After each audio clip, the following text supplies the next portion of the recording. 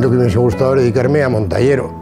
La primera montaña que subí tenía siete años, subí a la montaña a la que subimos los zaragozanos, el Moncayo, que es una montaña un poco desprestigiada entre los aragoneses, pero que es una montaña muy bonita y muy importante.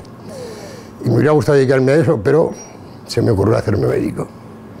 Y ahí la fastidiamos, porque cada vez que iba de excursión con los amigos y a alguien le pasaba algo, pues los demás se volvían, me miraban y me decían, oye tú. Y entonces no me quedó más remedio que fusionar mis dos grandes aficiones, que era la medicina y la montaña, y terminar siendo un médico montañero.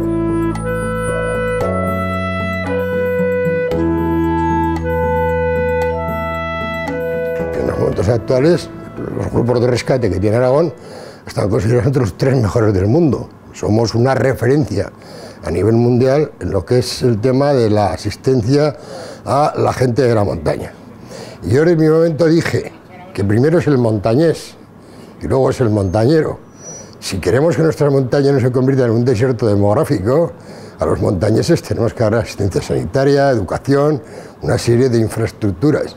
¿Que nos salen caras? Pues sí, pero tenemos que asumirlas. Si no nos bajamos todos a Zaragoza, que será más barato y el resto pues se queda deshabitado y asunto resuelto. Entonces, esa experiencia que hemos tenido en Aragón, ahora lo que estamos es exportándola a países como Nepal, que son países que están empezando a explotar el turismo de montaña, como hemos hecho nosotros. Aragón ahora es la principal fuente de ingresos de la comunidad autónoma. Y en el Nepal también se está convirtiendo. Y están muy interesados en que les expliquemos cómo lo hemos hecho para ellos intentar copiar de alguna manera lo que hemos hecho nosotros.